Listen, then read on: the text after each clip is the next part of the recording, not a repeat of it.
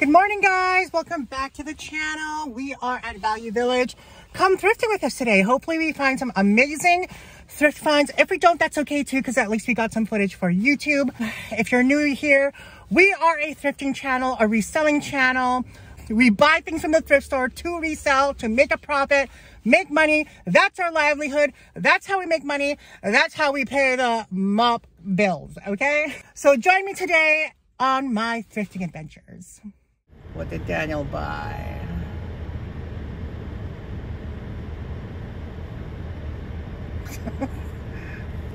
okay. We've been to one, two, three, four, five, six thrift stores. We bought one thing and nothing even to resell. Um, okay. So we're at the at the Value Village where I had an incident with with the manager. Um, I haven't really run into her in like I guess it's been like two weeks, two and a half weeks since that happened. But I ran into her today and she was friendly. she was friendly. She acknowledged me. She said good morning. She looked delightful. So bygones be bygones. And I guess she was just having a really rough day that day. So, and most of the employees were like nice and said hi to me.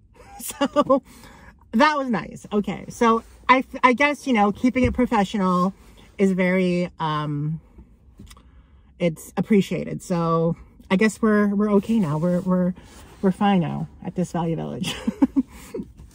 Will I ask for a price reduction? Hell no. Will I ask for a favor? Hell no. Just, I guess, got to keep it courteous and professional when it comes to this value village.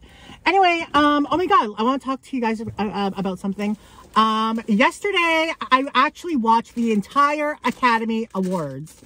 It was airing on cable TV, but I don't have cable TV anymore. So I ended up streaming it on that cable TV's app uh, or their website. I, was able to stream it. So I watched the entire Academy Awards from 7 p.m. till 10.30 p.m. on my computer. And I actually thoroughly enjoyed it. Um, I, the host, Jimmy Kimmel, he was okay. Thought it could be better. Uh, the jokes were okay, but not super, super funny. But, oh, everybody that won, I wanted to win. Uh, I wanted Everything Everywhere All at Once to win Best Picture. It won Best Picture. I wanted them to win Best Director, won Best Director. Uh, because the director, one is gay and one is Asian. So hello, can you get more, more minority than that? Um, I wanted the Asian guy from that movie to win Best Supporting Actor. He won Best Supporting Actor. Uh, Best Supporting Actress, I was tied between Jamie Lee Curtis, because I watched that movie, okay? I actually paid to watch Everything Everywhere All at Once. I saw the trailer and I was like, oh, did I understand what the fuck was going on? Hell to the no, but I still watched the whole thing. Um, I watched the, the movie, like this was like back in maybe like October, November of last year and I really didn't understand it, but I, I watched the whole thing. I loved Michelle Yeoh's performance. I loved Ken, Ken's performance. I loved Jamie Lee Curtis's performance. Oh my God. Jamie Lee Curtis in that movie was so good. Um, and based on that, I wanted her to win the Academy Award. And I've also always liked Jamie Lee Curtis as an actress. But I was tied between Jamie Lee Curtis and Angela Bassett. Granted, I've never seen Wakanda Forever. I did see clips of her performance and they're very emotional. And Angela Bassett is just an amazing actress. Like she is, I guess she would be one of my favorite actresses too. Usually anything that Angela Bassett does, I am all over it. Love Angela Bassett. And I would have been okay with Angela Bassett winning. I, was, I would have been okay with Angela winning or Jamie Lee Curtis. I'm actually happy that Jamie Lee Curtis won just because I watched her performance and I thought it was amazing.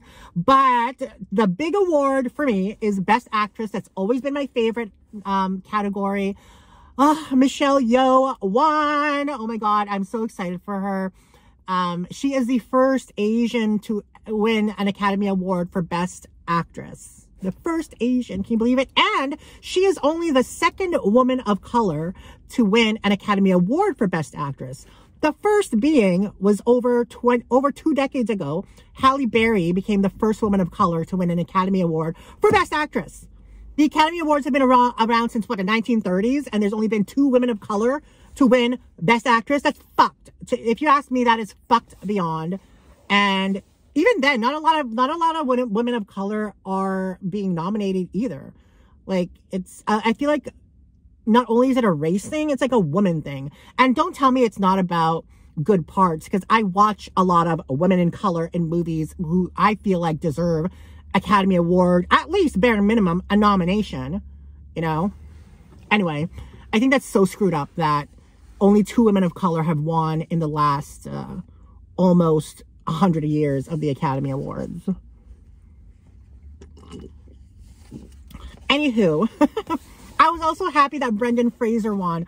Although his speech looked was kind of a little crazy. I wasn't really understanding a lot of his speech. Although I can understand it because he was very like shocked. Um, it was between really between him and Austin Butler for Elvis. They were like neck and neck in that in that category. Um, but yeah, I was really happy with everybody who won at the Academy Awards. If you haven't checked it out, watch that movie. Everything Everywhere All at Once.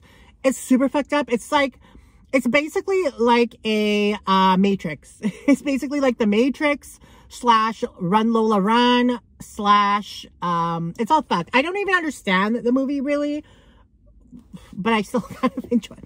Or it reminds me of like something like Black, was it Black? No, um, Black Mirror, like something along those lines where it's like, anyway, good movie, good night. I enjoyed the Academy Awards. I don't know, I haven't really been into the Academy Awards in a long time. Like I haven't watched it fully in a long time. And up until maybe like the 2000 and mid 2010s is when I used to follow it religiously.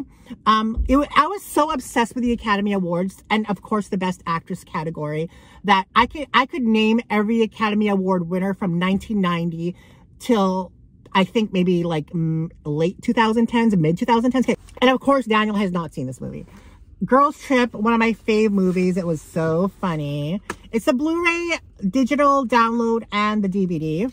So for $5, I feel like I tried to watch this somewhere, but it wasn't streaming. And that's the reason why sometimes I'll still buy Blu-rays and DVDs if it is a movie that I cannot find to stream anywhere. The thing is about streaming is sometimes they lose their licensing and they take it off of Netflix or it's not on Amazon. Usually you can find everything on Amazon Prime, but they want you to fucking rent it. I am freaking paying for a monthly subscription fee and renting movies. Fuck that shit, okay?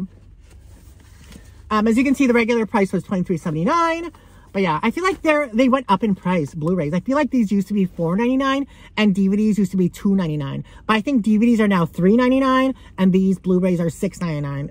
Value Village is sometimes annoying. Hey slut bombs, welcome back to the video. Before I show you what we thrifted, I do want to answer a couple of emails that I got yesterday. I printed them out old school. What's up? Okay,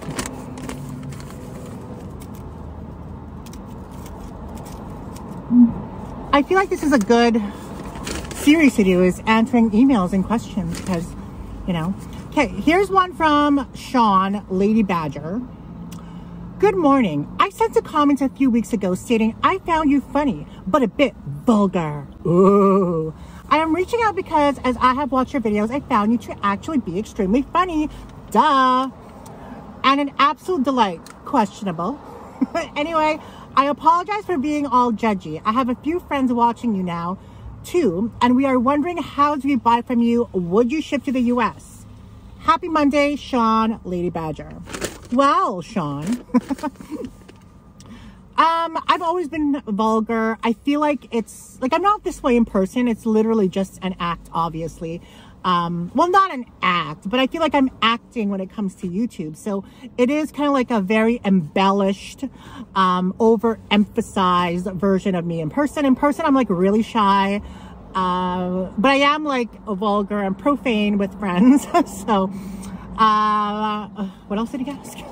Sorry, what did they ask? I don't know if how I should address you. So I would just be, I'll just use they and them. Yes, I do ship. I only usually ship to the US and Canada because uh, shipping is already expensive. I've, I've shipped to London, England, and I've shipped to Dubai. Super mother freaking expensive. Uh, shipping usually is incorporated in the price when I give you a price. Where do you buy? I used to post things on my selling page, But I find most of my sales now are made through Instagram, my regular Instagram. So my Instagram is Msfili, the same name as YouTube. Usually someone will see something on my Instagram story or my YouTube video and they'll message me asking to buy it. I charge in US prices because when I factor in the conversion, then I actually make a little bit of money off of it. So yes, I do ship to the US. And if how do you buy? If you want to buy anything, if you watch the video and you see something, or if you follow me on my Instagram and see something on my story, we can work out a deal. If not, then I'll say no, that's too low. so thank you, Sean, for your email. My second email is from Ivy.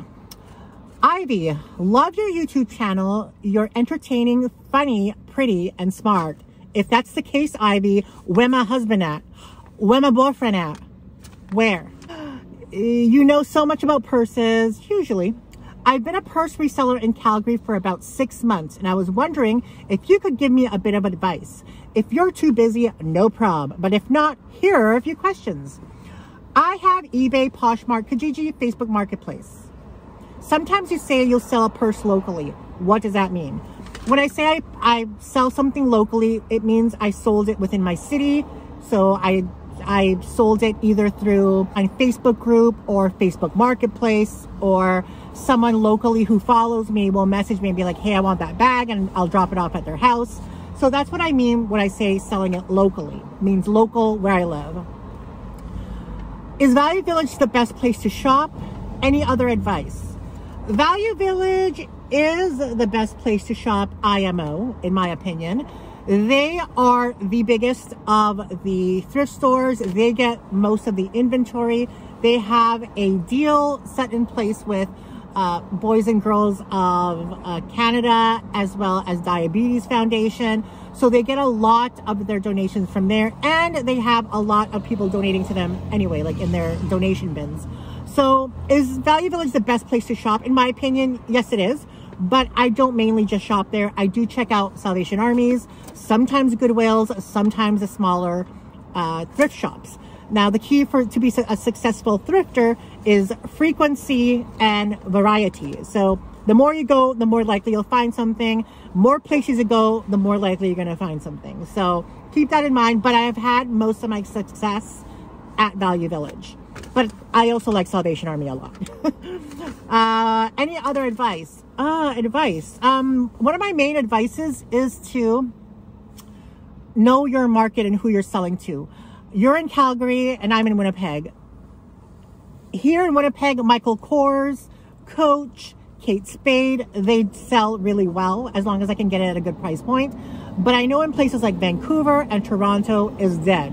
You can't let those shit go for $30. so, but for me, I can sell Michael Kors, Coach, Kate Spade for between low end if it's really well worn, $20. On the high end, I've been able to sell them in the hundreds, like maybe 150. But again, it's dependent on style, condition, whether it's an outlet bag or a boutique bag.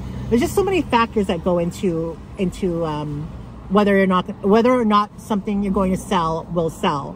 So because I know my market, I'm very familiar with Winnipeg. I've had years of experience selling here.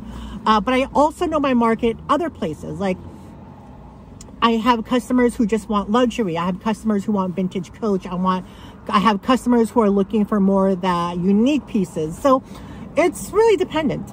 once you get into the groove of it, groove of it, and you see what's selling for you, then I, then I think you'll get more of an, uh, an understanding of what will sell for you and what won't. Um, just case in point, Nancy, my friend Nancy, she has so much success with Aritzia, Anthropologie, Lululemon. Me, no, I don't have success with Anthropologie, Lululemon, and Aritzia. Uh, I my my main thing is bags and accessories. Sometimes the odd clothing here and there, but I've come to learn that a lot of my customers just like, for the most part, like the higher end stuff. Keep up the great work, Ashley. You and Daniel are super cute together. Ew, we're friends. I'm just kidding. I'm in Palm Springs right now and I checked out a thrift store yesterday and it wasn't great it wasn't great that day, but it might be great on another day. It might just be like they are haven't restocked because their restocking is on a Friday, you know? Uh, and it wasn't great. Uh, you'd think with all these rich bitches here, there'd be something good. There probably is. Don't give up. Gonna check out some more while I'm here. Perfect, perfect um, advice right there. Check out more while you're there. And hit back the other one on a different date or a different time. So thank you to the people who sent me an email. I appreciate it. Now let's get right back into the haul. Okay, uh, aside from the girls trip uh, Blu-ray DVD, we picked up this fossil. I usually don't pick up wallets that are fossil, but for $8, it was super cheap and it's in like such good condition. It's like literally brand new. I don't think anybody used it. I think there's just a little bit of like scuffing on it because it's been tossed around in the donation bin. But this is actually a good wallet and Fossil's leather is superior. Okay, so you have a front flap there for coins or cards. Then the back one is a button snap closure. You have cards here, coins there, ID there, and it opens like that. See, they didn't even remove the sticker there.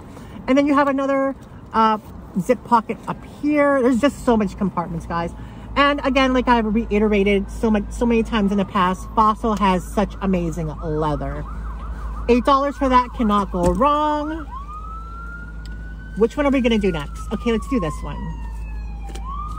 Let's wait for the ambulance to go by.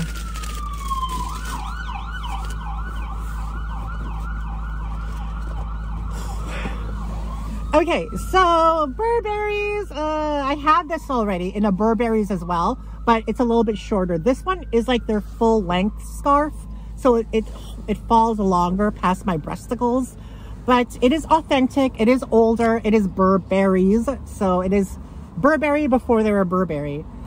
Here it is. There's the Burberry's of London, 100% cashmere made in England. It is super soft, guys. I was surprised. Whenever I find like this pattern, it's usually like not Burberry, but it's so cute. I love it. It's their regular pattern, which will help it sell for more money because it is their quintessential beige check pattern and it's in perfect condition. I don't think it's even been worn. Literally nowhere, no holes, no staining, no rips, perfection galore. Super cute. And last but certainly not least, it, was only a three, a three, well, four item thrifty. We picked this up. And you might think, okay, whatever, it is what it is. Is it? Is it? Is what it is? this is a Marc Jacobs quilted bag, but not Marc by Marc Jacobs. This is Marc Jacobs, high-end Marc Jacobs, made in motherfucking Italy, okay? so, it is his higher end line. At first I thought, because it just says Marc Jacobs, because okay, this is what happened to Marc Jacobs. Marc Jacobs is its own brand. Now he has Marc Jacobs, which is his high-end line, Mike, Marc by Marc Jacobs, which is his diffusion more. Hi. Hi. Marc by Marc Jacobs, which is his more affordable line. Well, then he changed it like I think maybe the last three or four years, maybe five, he changed it all to just be Marc Jacobs. So no more Marc by Marc Jacobs. Marc Jacobs is just Marc Jacobs. He has, you know, I don't even know if he still has his expensive line, but anyway, this one is his expensive line. It is a shoulder bag with a flap, and then it has a front flap, a zip compartment here, and then another uh, open compartment here and a zip compartment here. There's a little bit of staining right there. I don't know if we could get that out, but I don't give a fuck. Um, and then inside it says, there's a tag that says uh, made in Italy and a code. Made in Italy and then the code right there. So it is his higher end bag. And we paid a 650 And then we used a freaking $2 off coupon so it became $5 for a Marc Jacobs made in Italy bag. I'm going to see what the model is and put it up here what the retail is or what it sells for use. But it was definitely a good score. I am happy with my three items. I hope you guys are doing well. Don't forget to remain positive, productive, and progressive. Keep manifesting those dreams because they will come true. And I'm happy that you guys joined me on my thrift adventures today we manifested it. We manifested luxury. We manifested good quality items. And You know, it's not about the quantity, it's about the quality, okay? I love you guys. Be safe. Okay, as, as I was waiting, I was doing some research on the bag. This is called the Marc Jacobs single quilted flap bag. Um, it was it sold at Bergdorf Goodman's back in like the mid 2000s, late 2000s to early 2010s for 675 back then. 675 guys is what this retailed for um, back then. Um, I see it all over the place on online. I see some for 270 250 I see some for $90, but that one sold already. And it was, so it's, I guess, depending on the condition. This one is in great condition. Um, there is some wear to it, but nothing like major or extreme. So I would probably say this is about, um, I would say $150 bag, especially since it's Marc Jacobs made in Italy and based on the condition. Anyway, I just wanted to add that in.